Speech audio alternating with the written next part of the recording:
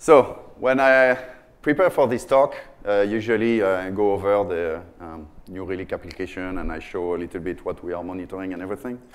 And uh, what happened is that basically we are using New Relic for three years now. So we are a three years old user of uh, New Relic uh, since the beginning. How many of you are using New Relic for more than two years?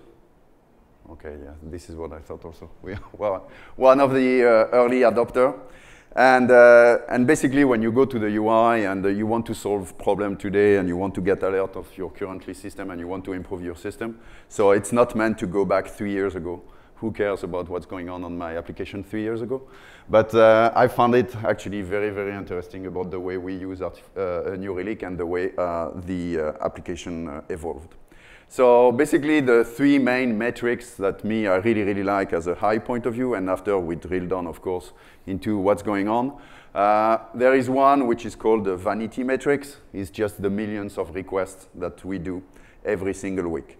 Uh, so the top one here on the blue is uh, today more than uh, 35 million every week.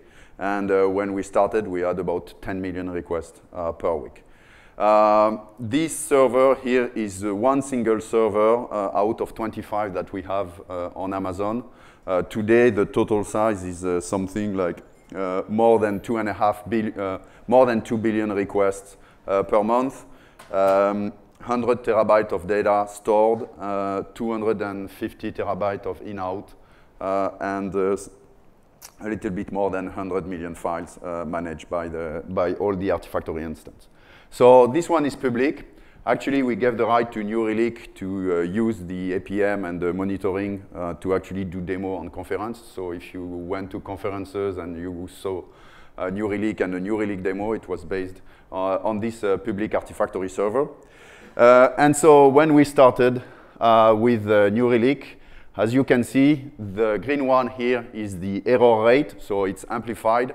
It was actually uh, uh, a little bit less than 0.8% here. It's 0.8%, which for us is actually bad.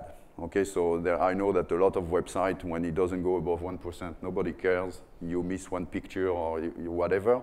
But we are a binary repository manager. We are the place where you get all the artifacts for your build. And when you do a build, you do 100, if it's a small build, to thousands of requests to Artifactory to get all the little stuff when you do one single build. So if you have 0.8% uh, failure rate, it means that almost 10% of your build are failing, okay, if you are not uh, uh, visible. One of the main issues, I don't know if uh, how many of you are using Scala, but Scala is very, very sensitive about communicating with the repository and the backend repository, and uh, so we kept having issue. So um, we were really happy about the 10 million requests here on, on the blue side, and uh, the response time here uh, was so 200. Here, it's actually the rate here is the, the response time. We were at 200 milliseconds uh, response time uh, globally for 10 million requests, uh, which was quite good. And we were really happy. And we started to use New Relic and to drill down. Uh, one of the first things that we saw is, of course, this uh, error rate, and, uh, and we drill down and we find out all kind of special specific issue on the way we use the, the SQL query, actually, and, and the binary, the way we communicate with HTTP. And we started to fix.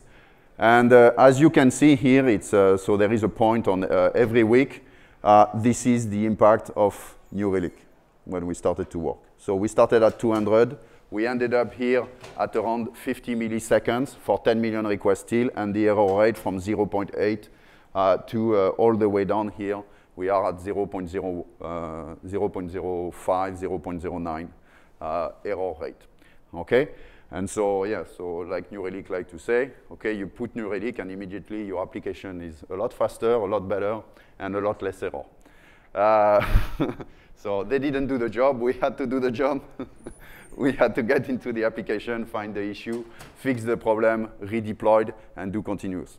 Uh, in terms of what's really, really nice also here is that you can see that sometimes we had some glitches, and here we had some glitches. We do continuous deployment. So on Artifactory Online, it's every week, uh, sometimes a little bit more. On Bintray, we do twice a day.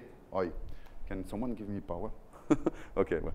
Uh, on the Bintray, we do uh, twice a day, and one of the first metrics that we are observing whenever we do uh, A-B deployment or continuous deployment is the feedback from New Relic. If New Relic say, "Ooh la, that looks bad," okay, we roll back the we roll back the system. Okay, so that's the, one of the main source of information. So there was some glitches, and then it was stable for uh, almost uh, I don't know how much uh, for for quite some times, and then we started to get popular. so that's the vanity metrics. We started to get more and more popular and get more and more hit, and uh, as you can see, uh, we didn't behave that good uh, in terms of response time. Okay, we reacted quite fast. We fixed the problem, finding a. So that's basically the history of JFrog with New Relic. Increase in popularity, finding a bottleneck, fixing it, going back. uh, and as fast as you do the process, as fast as you find the bottleneck, and as fast as you fix the issue, as more uh, people and things. And this is basically what uh, New Relic gave us. The other thing that uh, went on is basically also what I found is um, what I call the laziness creepy behavior. So you have your system that starts to, uh, so you see three weeks in a row, we started to increase in response time. And uh, it's still good, it's still at 200 milliseconds. It's so we don't have time to, but it's basically continuous. If you don't watch it, if you don't monitor it, and if you don't fix your performance and your issue, and if you don't fix your error continuously, basically they back and they creep in, okay?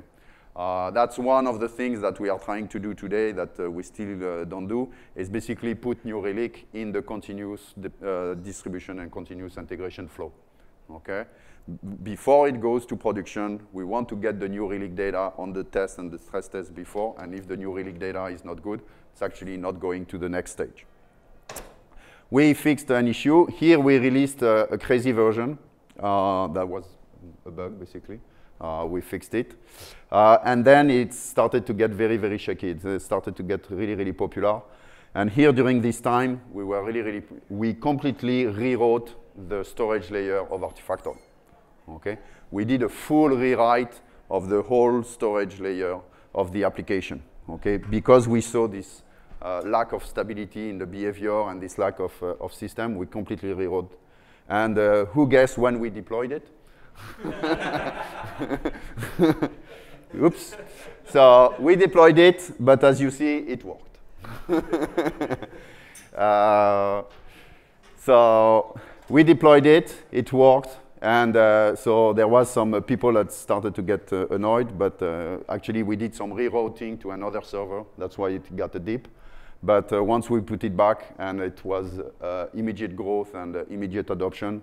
So today we are basically in raw number, like I said, 33 million requests every single week, a response time that is around 50 milliseconds, and an error rate which is uh, below 0.05%. Uh, uh, and all this, now it's, you can see, it starts to creep in again. I start to need to, we need to go back, and we know it. Uh, one of the main reasons, by the way, for the creeping back here is uh, uh, we relaunched the version 4 of our UI. And so we spend a lot of energy to redesign our REST API with Angular and all the REST API and all the UI, and we spend a little bit less energy on the back end. And you can see it shows immediately. It's just freaking amazing. So that's us, the story of us uh, at, uh, at New Relic. Uh, and so I think it's finished, but uh, know how much. Uh, I still have five minutes. So basically, this is it. As you can see here, a global throughput of uh, 4,000 requests per second, very, very stable. And one of the main issues that we have is that basically we spend a lot of time communicating with the uh, external world, sending requests to the external world, aggregating data from the external world. And one of the things that uh, uh, New Relic gave us uh, immediately that was really, really nice is external services. So it used to be called services, but now it's external services. And as you can see, Java.NET was bought by Oracle. Uh, and that's the response time we are getting from the uh, uh remote services. Uh, so it used to be uh, all kind of JCenter is Bintray. As you can see, we are uh, really, really good. And so what we do is that basically we reorganize and we try to fix and get better caching and better tuning on all those uh, remote services. Uh, but, um, and uh, we, we, can do, and we are doing better. Um, and so the global here, the global report, I wanted to, so the, the global monthly SLA, and after I'm going to change the application for that. So as you can see, number of requests per million uh, for every month, 130. Uh, the response time, uh, which is creeping back, like I said, uh, mainly because of the new UI. Uh, and uh, the Apdex also that is going back. One of the main reasons for it is that today we support NPM, Bower, I think Ruby starts to be quite popular also on this server, and all this kind of new technology. And they have clients, especially the Ruby client, which kind of uh, suck at keeping a, a, HTTP connection correctly open and closed. And so it's making this kind of uh, mistake and error. And so I'm just going to open disk one. So there is no recording. It's OK. Uh, nobody sees. So uh, this is the Artifactory Netflix server. This is the one serving all the Debian uh, uh, Debian file of the Netflix application all over the planet to do all the bakery and all the, the baker environment. So here it's a little bit more than uh, what we have, 300 to 200 uh, million requests per month. And we spend actually more uh, server power and more tuning uh, for Netflix than uh, for our own public instance that everybody can use for free, sorry.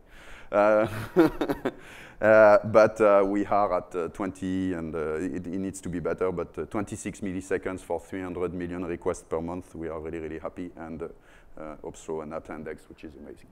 Thank you.